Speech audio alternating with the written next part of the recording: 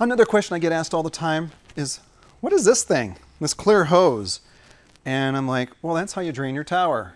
And I get the most dumbfounded look sometimes, like, okay, how do I do that? Well, there's a couple options. The option that's it's been designed for, this is the top of your tower garden, your shower cap. And this actually just plugs right on here, just like that.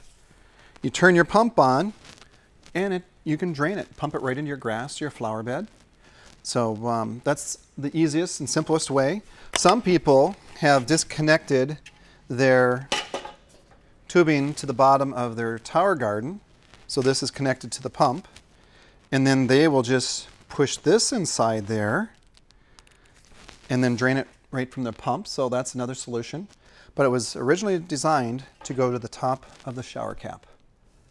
It's a great way to just dump your tower. If you're outside, it's made real simple. Indoors, you can just drain it into your sink. That way you don't have to take it outside. So it's a great solution for uh, rinsing out or getting rid of the excess water. Uh, we recommend to refresh your tower every three to four months. So typically we like to refresh it at the beginning of the year and then right before we go into summer, right after summer as well. So essentially every three to four months. People ask me all the time, why would I want to change the water?